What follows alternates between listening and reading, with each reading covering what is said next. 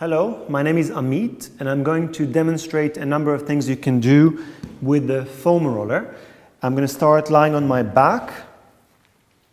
This is one thing that many people buy a foam roller just for that. Make sure your legs are not too close together unless you really want to challenge yourself. And align your spine on the foam roller so it can open up as you do different arm variations. And we can do plenty of things here.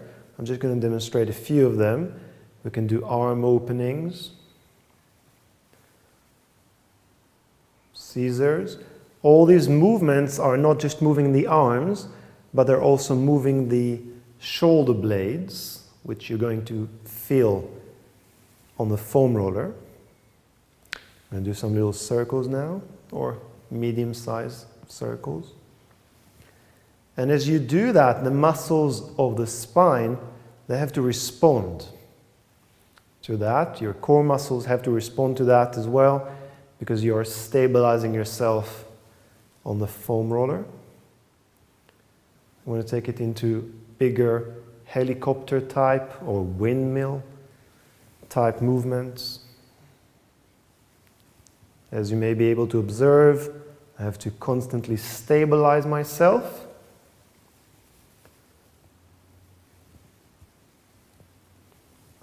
We can do things like puppet arms, if you're familiar with that. And also just a bigger stretch. This stretch can also move through the different muscle fibers. What I really like doing when I finish doing whatever I've done on the foam roller is to lie on my back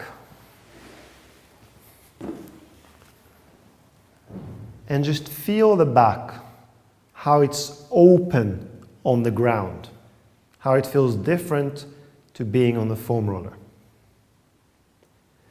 The next couple of things I'm going to show use the rolling element of the foam roller. One is an exercise we call Cleopatra, and you can modify it from the equipment to the floor using the foam roller. It's very difficult to do something like this if you don't have a moving prop, a rolling prop like that. The next thing is lying on the front. Again, using the foam roller can help enhance this movement.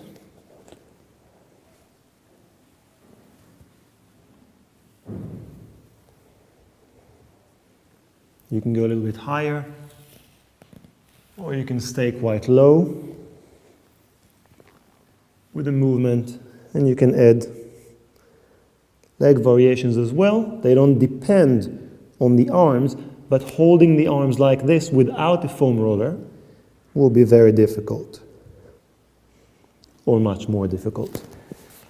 The next two things I'm going to show are again things that people usually buy foam rollers for, which is, they call it the stretches, but it's more of a massage to the muscles, rolling the quads, the thigh muscles. Very, very, very efficient, not always very pleasant. Even less pleasant would be to roll your shins.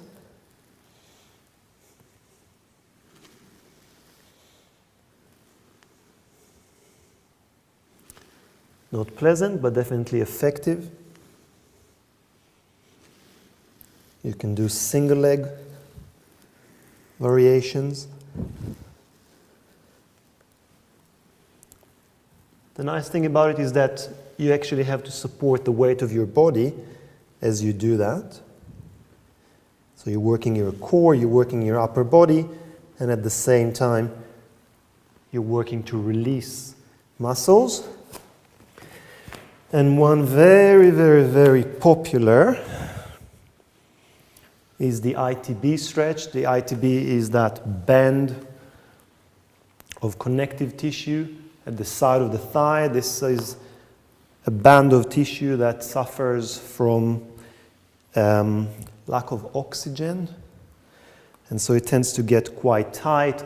This pulls on the knee. A lot of people, a lot of runners have issues with that. If you get a little bit more brave after a while, you can do it with both legs raised. And the trick is to do it as much as you can, but not for very long. So little and often would be very, very good. Okay, and that's all for the foam roller for today.